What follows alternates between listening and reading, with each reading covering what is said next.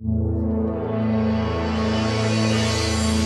last time I spoke to you was a Mission uh, Red Carpet in Paris. You told an amazing story about riding the metro with a girl noticing you. I just want to say thank you for that story because it went everywhere. But for today, there are a ton of people that have never, that are young kids, that have actually never seen any of your movies. What is the movie that you would like them to start with and why? Dead Reckoning Part 1. That's what we're here for today. I mean, here we are in Rome. They could start with this film to see and understand that this is all real. All the action's real. It's practical.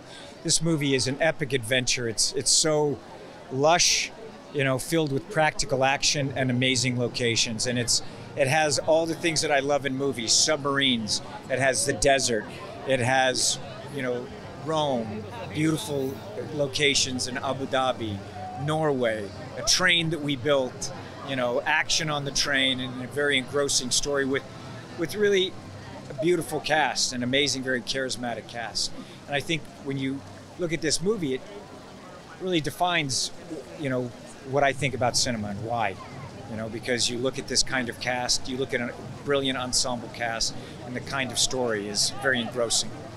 Uh, I will tell you, I've, I've, seen it. It's the fastest two hours and 30 minutes of the year. Uh, I, I, love this movie so much. Uh, you have done amazing stunts over the through your career, and I'm just curious, what do you view like the top five or top 10 of the most the difficulty of what you've done in terms of the nervousness of the people around you? I don't know. I don't know.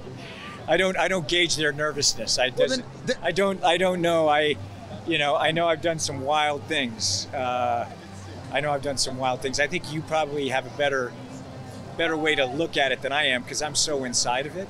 Sure. You know, and I'm doing it, and I just know, you know, what we try to do with these films, and actually all of my movies. I, you know, I, I remember as a as an audience member, which I am first and foremost, and I make my as a filmmaker, I make my movies for audiences. But I always, I wanted, I like a wide range of cinema.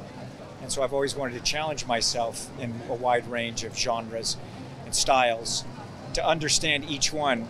And I'd go into it and then study each one as I was making it and test my abilities in that.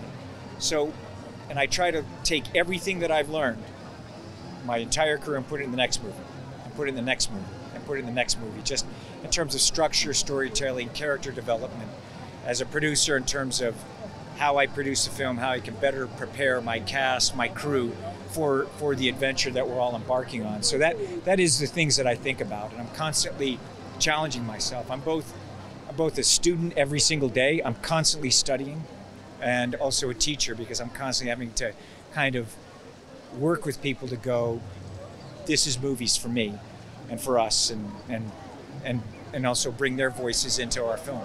Last thing for you, I love IMAX. It's my favorite format. Maybe can you talk just a touch on why you should see this in IMAX?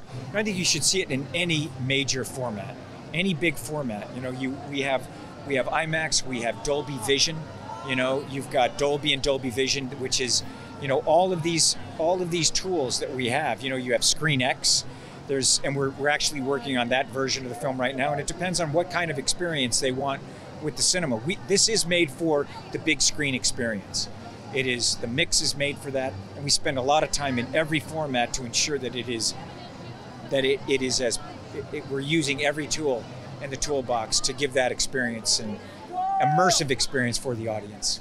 Sir, thank you so much for real, man. The movie's incredible.